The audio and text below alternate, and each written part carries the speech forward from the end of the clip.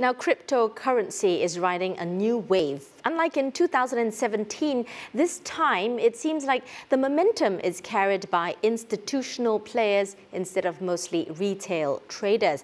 Can cryptocurrencies be the safe haven for investors in this digital age?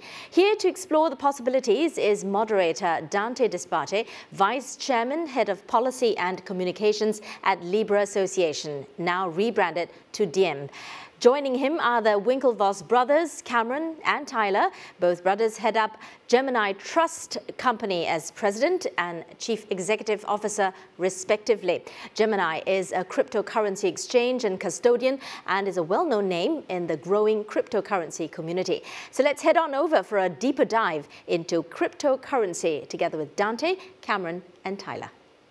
So, who better than Tyler and Cameron Winklevoss to try to reconcile what has been not only a turbulent year for the entire world between a blend of macroeconomic un- uncertainty, the COVID 19 pandemic, an enormous strain on all systems um, have relied uh, almost exclusively on the internet as a form of business and operational continuity.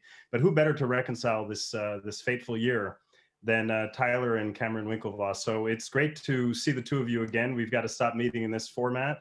Um, and wanted to try to get a read as we look at um, the cusp of 2021 and the likelihood that Bitcoin yet again is on track to breaking a $20,000 ceiling. Um, you've made some very bold predictions um, in this space, but I want to just start by maybe getting some opening reflections from the two of you um, and then have a spirited conversation about the direction of travel around the world, the future of money, virtual assets, crypto assets, and how Gemini, under your leadership, has has navigated uh, the storms. So maybe Tyler, if we could start with you, um, just to kind of get your sense of uh, how things are looking, the direction of travel uh, in this space. Yeah, thanks for having us, Dante. Great to meet again. Um, you know, the the story of 2020 has definitely been the pandemic, um, but I think it's also been Bitcoin. Um, much of the ways that governments around the world have had to respond to the pandemic and the demand economic shock that the lockdowns have caused, um, those tools such as spending, uh, money printing to get us out of that um, has really put into question what the value is of fiat currencies around the world.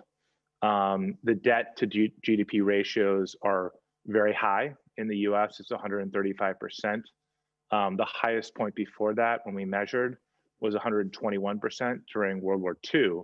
Um, but back then, that we had full employment. Uh, we were building a lot of uh, infrastructure for the uh, the sorry um, the the um, you know the war, and um, so but now we have record uh, unemployment. So it's a very different um, situation and um, bitcoin and hard assets like um, like gold are your hedge to this inflation. So um, yeah i think that's sort of the pandemic is obviously the story but it's very much been a catalyst for bitcoin. So um, sort of pass to cameron yeah. So, so I mean, with that as as a segue, I I didn't want to open up with the, you know the bold article that the two of you co-authored. Uh, you know, the direction of travel for Bitcoin, looking at uh, five hundred thousand dollars, if not potentially more. And it seems not only is this vindicating of your early bets in the space and and Gemini's early bets in the space, which we'll get into as well. Um, around how you've navigated compliance and trust in digital assets more generally, but you know, I would like to also, you know, Cameron, give you a chance to say a few words at the outset in terms of, you know, digital assets and crypto assets being a silver lining in the clouds, and then this long range bet that both of you have made so um, ably in in your op-ed. Um, you know, how, how do you see things playing out here, and is this the beginning of a of a real transition in terms of the economy? Yeah, no, happy to respond to that, and thanks so much for for having us. Um, it's great to talk to you, Dante. Um, I think Tyler really said it well and laid it up. Um, obviously, there's been a tremendous amount of money printing going on, both in the U.S. and in fiat regimes around the world, um, and I think that you know Bitcoin and hard money is a really interesting alternative. Um, I think there's a lot of people that are worried about um, the scourge of inflation or the specter of inflation out there. Um, and when those things arise, historically, people tend to look at things like uh, gold, um, or or you could store your your value in the market, but that will really keep place pace with inflation and get priced with um, with that. Um, but really, how do you outrun inflation? And what is what is the classic hedge? And that has historically been gold. And now we have this really cool new asset called Bitcoin um, that's basically shares all the properties of gold, but actually like beats it in in um, a number of different places. For example, uh, I'll start with um, the supply of gold is uh, is is scarce, but actually two thirds of gold, above ground gold, has been mined since 1950. And so technology improves, or demand increases, or the price of gold goes up enough where people will find gold in different ways. And that's similar to how we've managed to find a lot more oil over the past couple of decades. Mm-hmm with uh, technological advancements like fracking um, and what have you. And and today the uh, the U.S. is actually a oil net exporter, which most people never thought would be the case. Um, we thought that you know the U.S. would be would be a importer. Um, whereas the supply of Bitcoin is is truly fixed at 21 million. So it's like gold, but actually better than gold. Um, and also, it's a lot more portable. It's very hard to move gold in the middle of a pandemic um, when everything seizes up or locks down and and bitcoin really works like email um, so there's a lot of really cool properties that we think make bitcoin an emergent store of value that eventually overtakes gold and that's how we got to that kind of crazy number of $500,000 per coin. Um, looking at the market cap of gold at 9 trillion, if you look at the market cap today of, of uh, Bitcoin, I think it's around 330, 40 trillion dollars. Um, that would have to grow about 40 times from today's prices to uh, overtake gold. So I would say we're somewhat vindicated uh, in a way, or, or, or it's playing out, um, but we're still like actually only 140th of the way there, if we're right. Um, but it's been really exciting to see Bitcoin kind of get back to where it was three years ago, or just under uh, 20,000, which is the previous high. Um, so a lot of people are saying we're in a bull run, and actually, we don't think it in many ways has actually started, um, which is pretty exciting. And uh, if you look at the Google searches for the word Bitcoin, it's actually still pretty flat, which means that a lot of the people accumulating Bitcoin um, are people that are sort of doing it quietly, uh, more sophisticated investors who are, are doing sort of research on the asset, uh, looking around at the macro environment and saying, this doesn't add up. This doesn't work. Mm-hmm. Okay, how do I protect my value uh, from that? And a lot of uh, people who historically would go to gold are starting to look at Bitcoin. It's a it's a fascinating it's a fascinating set of comparisons, and you know, in some of my early reading, writing, and analysis of the space, I've often sort of made this analogy that if data is the new oil, blockchain is the new barrel, and that in that domain you, you have these this new set of industries being born. Um, and another comparison that you know, just to kind of riff off of what you were saying, Cameron, is is um, you know in so many ways digital assets in the crypto asset world is to finance what renewable energy is to, to the traditional energy space right? That um, they're not necessarily producing threats to the system that in so many ways they're completing the system. And i know you know as you two were building gemini um, you know at a time when most regulators most compliant officials compliance officials and policymakers might have misunderstood the asset class as a form of circumvention of rules and money laundering requirements and the rest. You ran to a very high regulatory standard um, in New York, beginning, you know, in, beginning New York, and I know you're expanding to other jurisdictions around the world.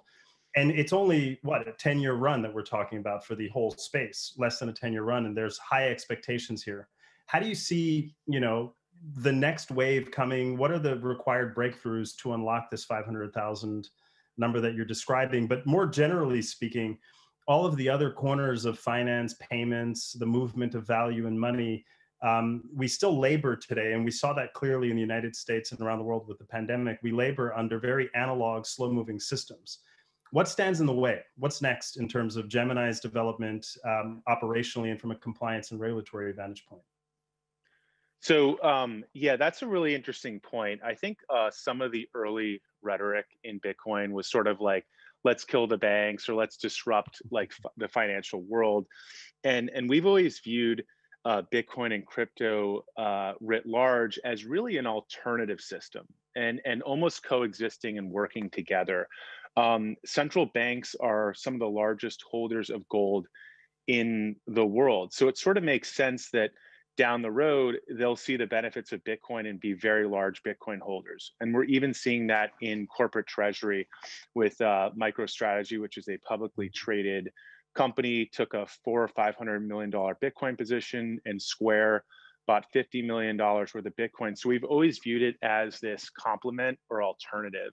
And we sort of grew up in the Wild West days, and we bought some of our earliest Bitcoin on Mt. Gox, which is an exchange that famously imploded it started as a Magic the Gathering online card exchange, pivoted into Bitcoin, um, and was just uh, in over its head.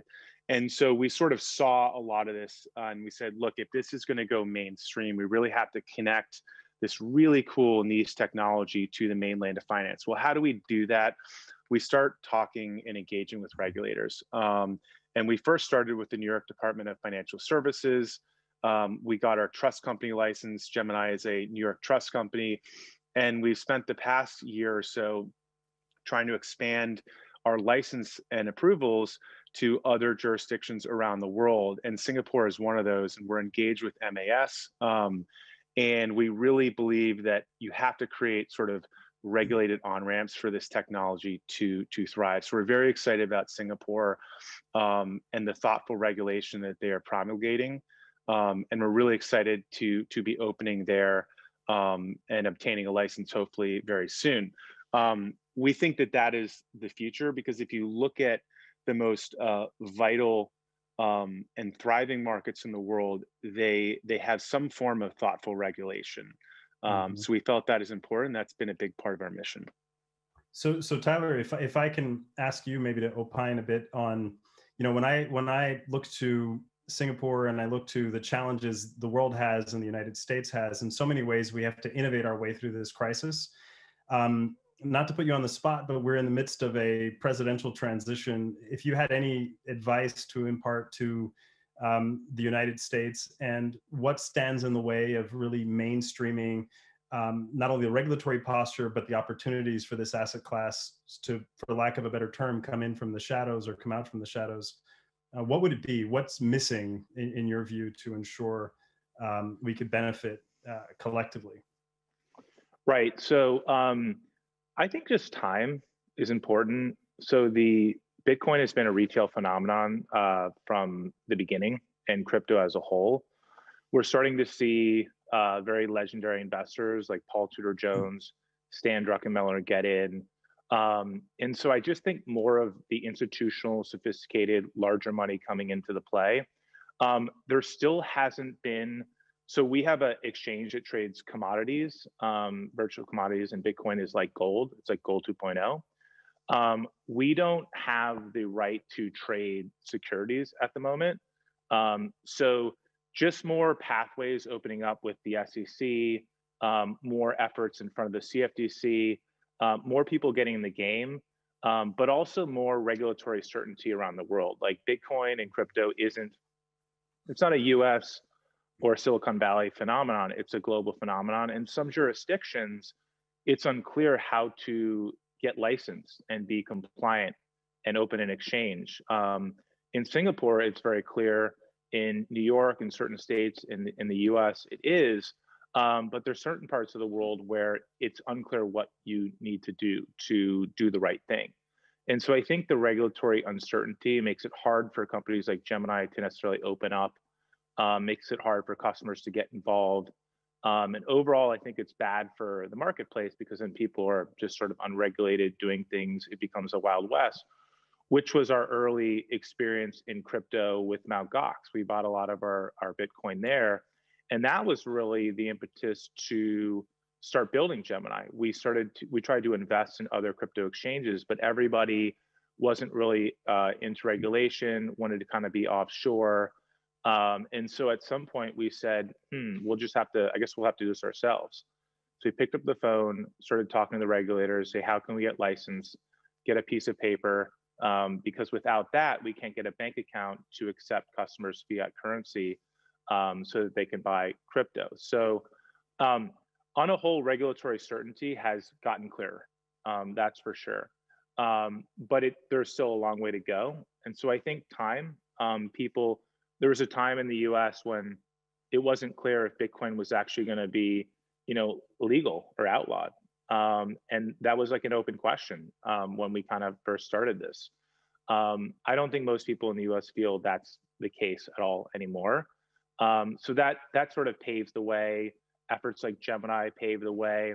Um, so I think it's just like more of more of the same, really. I, I don't know if that's a that's a very long-winded answer to your question, um, but what we found is there's never it's never really a silver bullet you know there isn't this one thing like oh um, you know if just the regulators would say this or if some mm. companies would say that it tends to be a constellation of things from the private sector from entrepreneurs from the mm. regulators that just all of a sudden like opens up this this door and sometimes it's like the bitcoin halving or it's what's being built in defi um, and then you get these waves like 2017 and there was ones before and I think we're upon another one now. So it's really all of it um, and just more of it and more time. Yeah, and, and it sort of one I could relate entirely to the concept of asking for permission rather than forgiveness as the precondition of launching something. That's certainly my principal preoccupation in the project I'm helping lead. Um, but you know, there's also this fascinating subset of opportunities that the blockchain and crypto asset space have created that are now, I think, being embraced by the public sector. We hear it and see it with something like 80% of the world's central banks contemplating central bank digital currencies. There are technology companies like Chainalysis and others that are getting billion dollar valuations on the basis of providing fundamental financial integrity and compliance services. And so I find it to be a bit of an irony that you know when the original fears of the space were always hyperinflated and the space frankly labored under some branding and communications challenges, uh, that nonetheless, more and more people are starting to realize that blockchain based payment systems, technologies, platforms represent potential um, quantum leaps forward in terms of financial security, uh, financial crime compliance, and the rest. And you know, I'd be curious also to get your read. I know Gemini early on with the the trust license and others, you you put some efforts into creating assurance models and insurance models to you know put a floor underneath uh, basic custody services. Do you anticipate any other breakthroughs? What are the other in the gold rush what are the other tools that that you see coming out of the space or being required um, in addition to you know more regulatory certainty? So i think um, you make a great point. Education has always been like a big challenge and it's an ongoing thing. And in the early days, a lot of people thought that Bitcoin was uh, truly anonymous and and used really only by illicit mm-hmm. actors for for illegal activity. Um, and I think what people have found out is that the blockchain's actually like it's this open ledger um, that you can forensically analyze. And I think recently the the United States government found a billion dollars from the Silk Road bus that they previously had not identified and they found it through the blockchain and they're going to auction that value off. Um, so it's really fascinating um, how the blockchain, how powerful that that ledger is. Um, but combating some of those those myths um, has been, you know, a challenge. But a lot of regulators around the world understand that um, and are forward thinking, including Singapore. And I think that there's uh, many dozens of companies that are trying to build um, in Singapore and get licensed. And there's going to be a very vibrant ecosystem that comes about from that. So um, I would say that uh, so we have insurance on our on our custody um, solution. Uh, to answer the the other part of your question, um, I think we have about 250 million dollars, and we'll scale that up as as the commercial market sort of uh, capacity is there.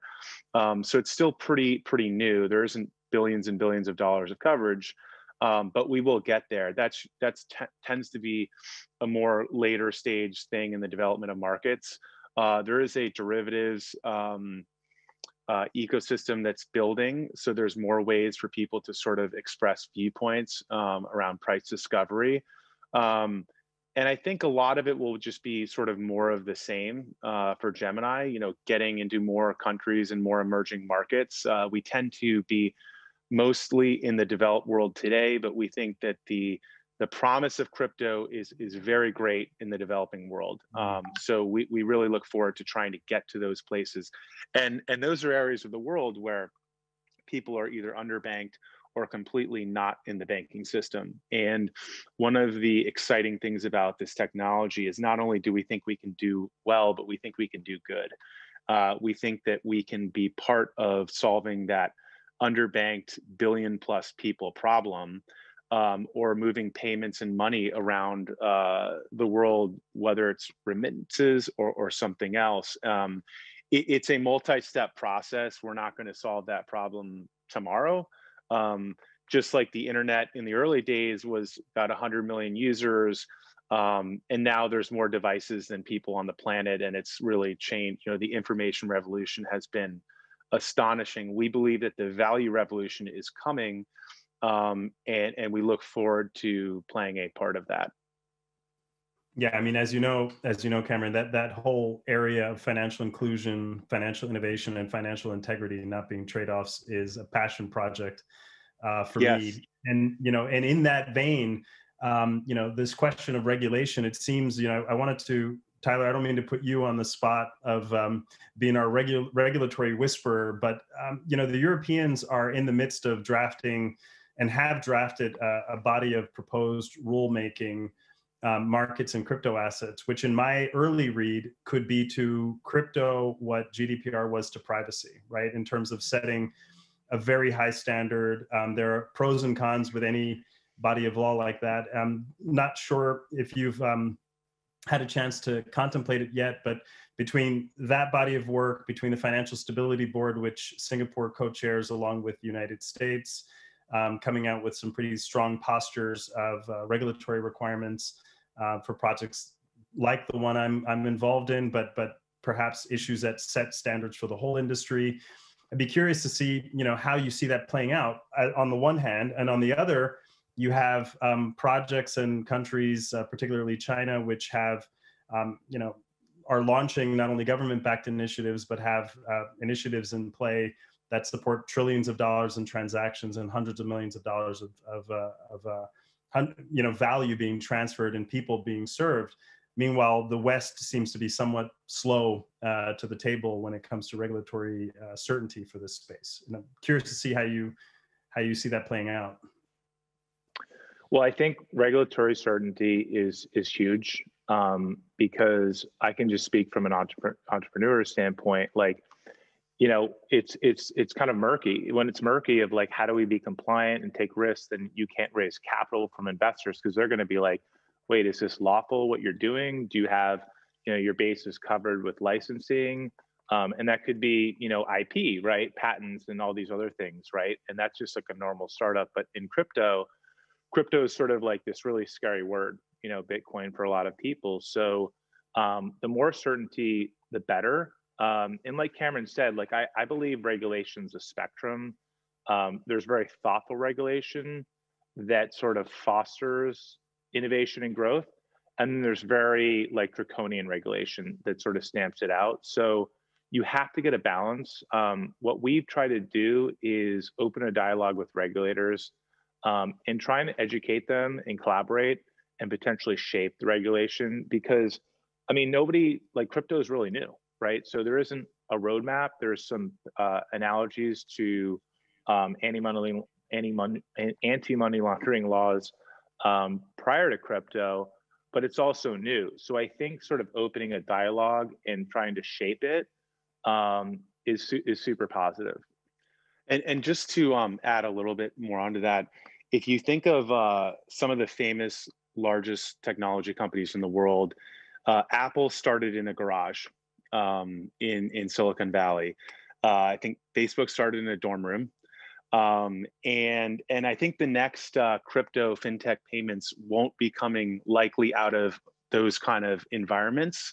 Um, and I think that's probably okay because we're talking about value, but you have to be careful that overhead is not so large that a lot of people can't innovate in the space, and you really want to sort of right size it um, so that you know you don't have a five or ten person startup carrying so much overhead that they can't really innovate.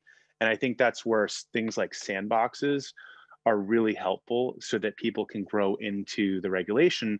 And there's learning on both sides. There's learning from both the startup and the regulators. And we have a really great collaborative relationship with our regulators. And I think we help each other out figure this new thing because nobody really has all the answers at the end of the day. We're sort of building as we go. Yeah, and it's it, it's a bit of an irony, isn't it? That that um, you know the the firms and the players and the leaders such as yourselves who uh, embraced regulation, embraced principles, and and undoubtedly in the very early days, you both had to famously defend it against a lot of odds. Uh, that now that that has become, in hindsight, a source of advantage. It's a competitive advantage in this market. Um, so I'm, you know, hats off to to the two of you for having been ahead of the curve. Um, I also find it interesting that you're seeing in, you know, going back to this question of central bank experimentation in this space, when the CARES Act, which mobilized $2.2 trillion initially in the US and then later $5.5 trillion of uh, effective public money, uh, was first introduced, it called for the creation of a digital dollar and a corresponding digital wallet. And so there's this tension of as entrepreneurs how do you manage value created and value captured when so much of the technology that we're building on including the project that i'm involved in is open source and is effectively digital commons right? So you know th- there is this moment in time where you should say this ought to lower the barriers of entry it ought to increase competition it's it's all pro innovation and it's also compliant um, but you see the public sector now starting to figure out well where is the line where does the line begin and end uh, for public sector involvement in this domain? Um, and I think that's going to be something we'll have to reconcile if you start to see wide adoption of CBDCs as uh, one of the many solutions that could be digitized in this in this world. Do you think that's a tension we have to reconcile, or can the private sector and public sector peacefully coexist? I'd like to think the latter. Um, I'd like to think the latter. We're, we're seeing that with with NASA and SpaceX in the U.S. Um, a lot of the space uh, innovation and exploration, it's a public-private partnership, um, and I think that there's things that the government can do that that's really hard for the private sector, and vice versa. So, things like the digital dollar project. Um, I think I hope to see you know the government sort of working with these projects and people that are spearheading it, and it being kind of a joint effort. Um, I think that produces really fantastic results. Um, so I don't have a ton of you know visibility into that, but um, I do hope that that outcome happens. Yeah. And, yeah. And what I, about your view, Tyler? Yeah, I was just gonna say like there's there's this tendency to be very um, for some people in community in the crypto community to be super antagonistic, like, oh, we're gonna kill the banks or you know, mm-hmm. Bitcoin's gonna kill the dollar. But I mean, that's sort of like saying gold and the dollar are competing for the same thing. I think they're very different financial instruments. One's a good currency, that being a fiat currency, the US dollar, um, and one's a very good store of value, being gold. I think they play different roles on the money spectrum. Um, and we work with banks. You know, if people want to get Bitcoin, well, their values right now, it's usually not in crypto because crypto is new. So you have to build a bridge between banks and this new world of, of crypto. Um, and you need banks to do that. So we work with a lot of banks. Um, they have a place. So I understand like people try and use provocative rhetoric to get excited, but I, I think we're all kind of working together just to build a better future, build money, make money better. Money is, I think, a technology, in my belief, a technology. It's an experiment that's been going on for thousands of years. This is just the, you know, newest iteration of it. Um, and ultimately, we're trying to make a better world. We're trying to give people greater choice, independence, opportunity, um, make people more included in the financial system, um, less permissionless. So, and I think so that I think that's what we're, you know, we're building towards that. I think ultimately it's not just like us versus them. It's a little bit, you know, it's a collaboration. It's funny. I, I was on a panel not long ago, um, hosted by the Federal Reserve Bank of Philadelphia, and I had a colleague on the panel from the Bank for International Settlements who said, if you were going to a regulator today to propose uh, physical cash, it might not be approved. And I, I, thought it was it was an irony to your point about it's maybe maybe it's not revolution, it's evolution of existing systems that that digital assets and cryptocurrencies represent. But I just thought it ironic that if you were going to present cash as an innovation and not necessarily a pre-existing uh, way of transferring value in the global economy, that the view of a, of a gentleman with the Bank for International Settlements is it wouldn't likely get approved because of its opacity. And then in the middle of a public health crisis, it also is the conveyor of disease, it turns out.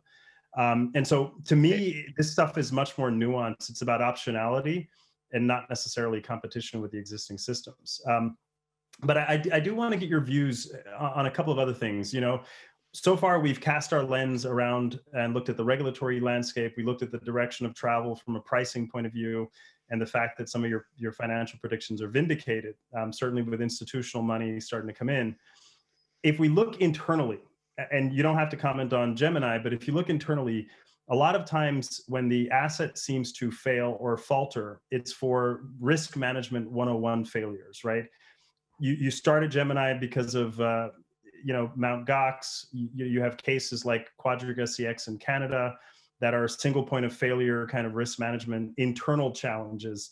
Um, do you feel like we're getting to a point where more and more users around the world can start to have fundamental faith in custodianship, in security, in cybersecurity maturity in the space? Um, do we have a long way to go yet, or or is this becoming standard operating procedure that there's just good discipline and good basic hygiene in place?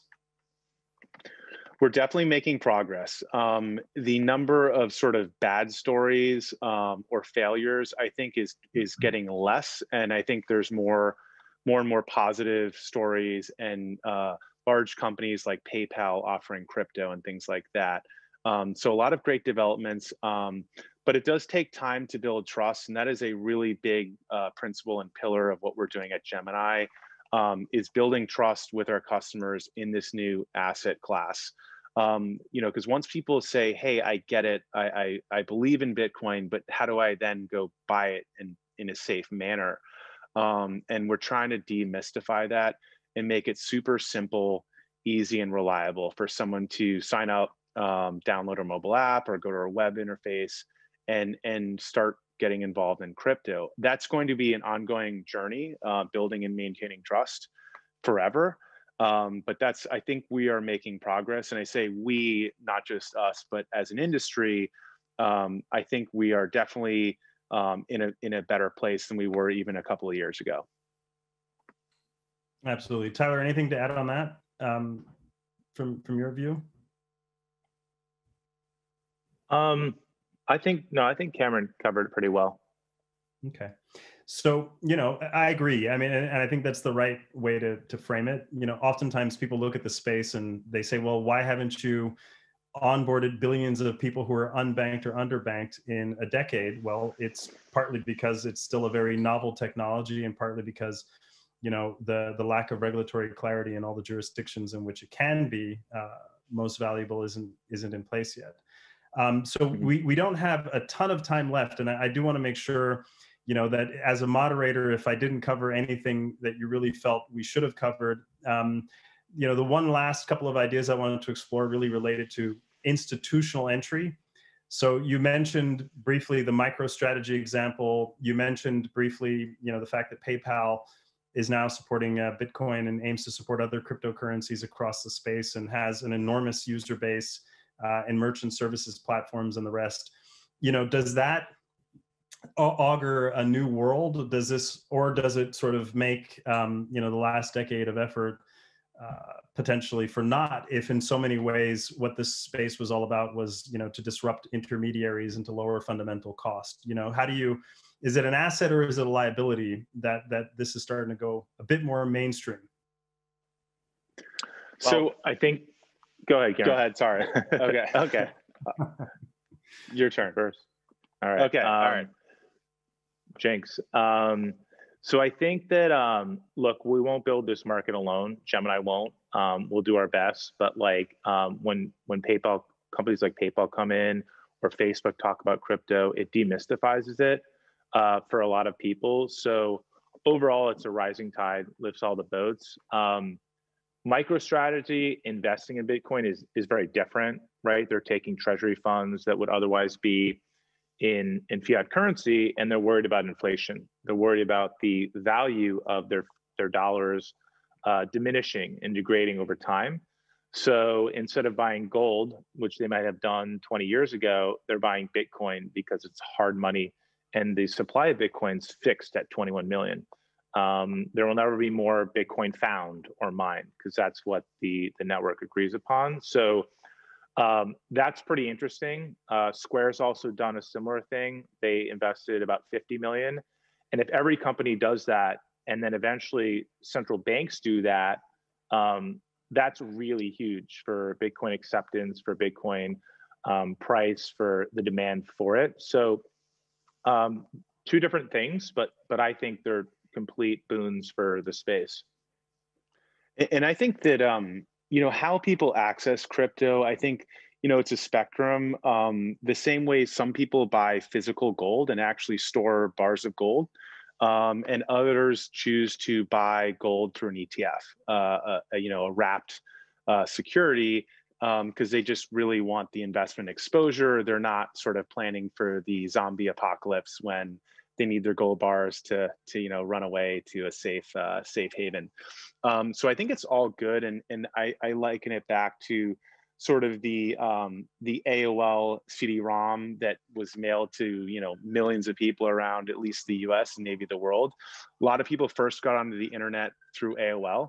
Um, and some people still have their AOL email addresses today, and it kind of shows that they onboarded the internet with AOL, but then a lot of people migrated into products like Gmail, and then you know a lot of messaging is done through social networks like WhatsApp, Facebook, and and that's you know a very popular thing. So I think it's a spectrum. It's all tends to be really positive. You know, some of the diehard uh, Bitcoin uh, enthusiasts may self custody their Bitcoin and not want to use a centralized regulated exchange, uh, and, and that's totally fine.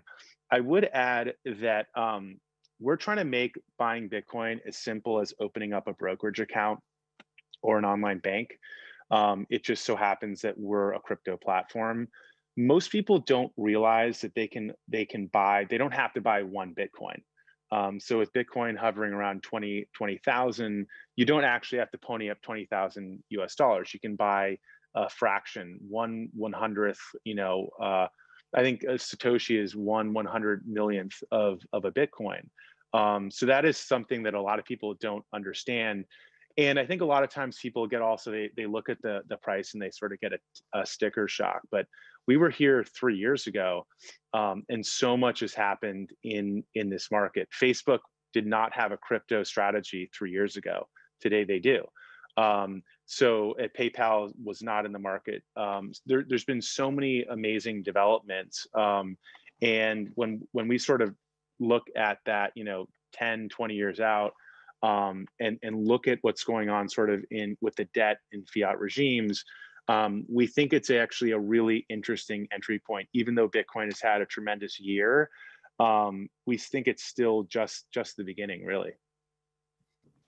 Well, gentlemen, it, it is a um, true delight to see the two of you again in this format. Um, thank you both for sharing not only a, a, great amount of your wisdom, but fractions of it that I suspect will age quite well, and we'll be able to come back hopefully at the the next Singapore FinTech Festival, do it in person and try to work backwards and reconcile um, 2020 and and some of the bold predictions that you both have made. Uh, in the minute or so we have left, any any parting words for for the listening audience?